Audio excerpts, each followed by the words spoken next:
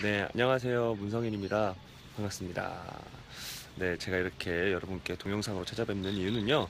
바로 저 어제 캐스팅 공개가 되었죠. 2017년 창작 뮤지컬 최고의 기대작 바로 1위로 선정된 바로 뮤지컬 팬레터 새로운 new face 와 히카루 네, 인사 한번 해주세요. 안녕하세요. 안녕하세요. 안녕하세요.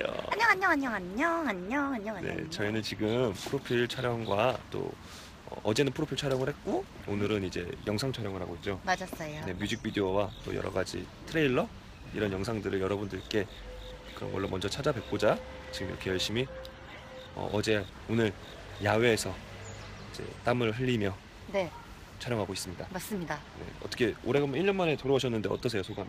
아니, 이거 홍보 영상이 아니라 이게 지금 인터뷰인가 봐요. 네 인터뷰도 같이 하는 네, 거죠. 얼마 예, 어떻게 일- 자를지 일- 1년 모르겠지만. 만에 돌아왔습니다. 1년 만에 돌아오셨나요? 예, 구경하다가 돌아왔습니다. 그렇습니다. 어떤 역할 맡으셨죠? 아, 예, 이번에 이윤 역할을 맡았습니다. 네. 아, 멋진 이윤을 준비해 보도록 하겠습니다. 네, 기대해 이윤- 주세요. 이윤이 멋진 역할입니다. 네 여러분 돌아오는 11월에 여러분들을 만나 뵙겠습니다. 11월 10일부터 2월 4일까지예요. 동숭 아트센터에서 기다리고 있겠습니다. 무슨 놀이죠? 동숭을. 네, 동승몰에서 여러분들을 열심히 기다리고 있겠습니다.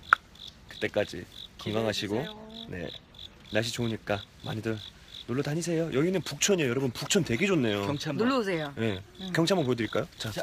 자, 따라라따, 따따라따. 이 밑에는 누가 있는지 한번 볼까요? 네, 이렇게 있습니다. 아무튼 여러분, 그럼 그날 뵙도록 하겠습니다. 안녕.